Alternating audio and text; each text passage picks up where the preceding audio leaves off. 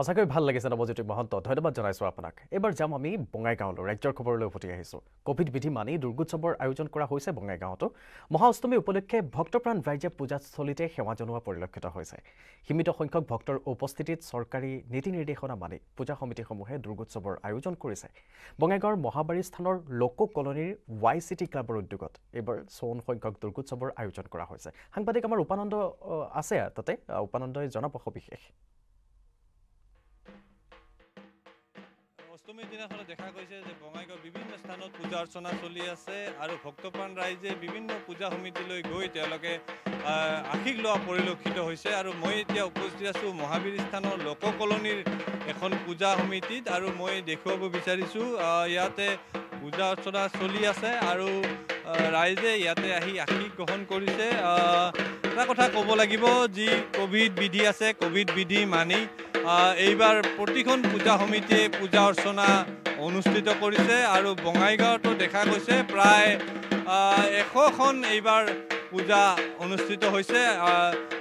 যি- চৰকাৰী নীতি নিৰ্দেশনা আছে আৰু সেয়া নীতি নিৰ্দেশনা প্ৰতিখন পূজা সমিতিয়ে তেওঁলোকে মানি ইয়াতে আয়োজন কৰা পৰিলক্ষিত হৈছে। আয়োজক সমিতি মোৰ সৈতে আছে। কি ক'ব আপোনালোকে কি ধৰণে এইবাৰ পূজা অনুষ্ঠিত কৰিছে? মই প্ৰথমে দুৰ্গা পূজা শাৰদীয় দুৰ্গা পূজাৰ সমূহ অসমবাসী ৰাইজক মোৰ তৰফৰ পৰা আন্তৰিক শুভেচ্ছা যাচিলোঁ? পূজাটো আমি চৰকাৰে যিটো নতুন এছ অ' পিৰ যিটো নিয়মবিলাক দিছে সেইবিলাক আমি হাণ্ড্ৰেড পাৰ্চেণ্ট পালন কৰি চলাই আছোঁ। যিবিলাক ছ'চিয়েল ডিষ্টেঞ্চিং ছ'চিয়েল ডিষ্টেঞ্চিংবিলাক মানি চলি আছোঁ। ভিৰ পূজাৰ ভিতৰত বা বাহিৰতো আমি ভিৰ হ'ব দিয়া নাই। এইবিলাক আঁতৰাই পঠাই দি আছোঁ। যিমান পাৰোঁ আমি আমাৰ তৰফৰ পৰা কমিটিৰ তৰফৰ পৰা চেষ্টা কৰি আমি এইবিলাক কৰি আছোঁ। যিমানখিনি পাৰোঁ আমি চেষ্টা কৰি আছোঁ।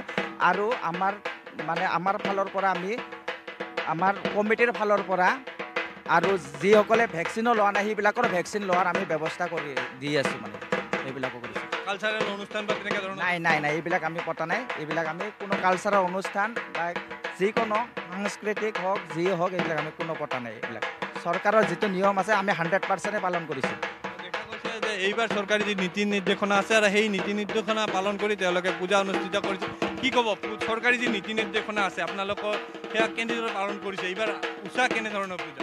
পোচাকটো বহুত ভালেই কিন্তু কথা হৈছে চৰকাৰে যিখিনি এছ অ' পি দিছে সেইখিনি এশ শতাংশ পালন কৰিয়ে আমি পূজা পালন কৰিবলৈ লৈছোঁ। আৰু আমাৰ যিখিনি সাংস্কৃতিক সন্ধিয়াৰ যিখিনি আয়োজক আছিল গোটেইখিনি বাতিল কৰি দিছোঁ আমি। যিহেতু চৰকাৰৰ নিৰ্দেশন আছে বিনা বিনা অনুমতিত আৰু বিনা ভেকচিনত প্ৰৱেশ নিষেধ মানে বিনা মাস্কত অনুমতি নিষেধ কৰা হৈছে সেই অনুমতি আমি পালন কৰিছোঁ। ৰাইজৰ সমাগম কেনেকুৱা ধৰণৰ হৈছে? ৰাইজৰ সমাগম আমি যিখিনি সামাজিক দূৰত্ব যিখিনি পালন কৰিব লাগে সেইখিনি সামাজিক দূৰত্ব পালন কৰি পেলাই কৰিব দিছোঁ। মানে বেছি ভিৰ কৰিব দিয়া নাই আৰু।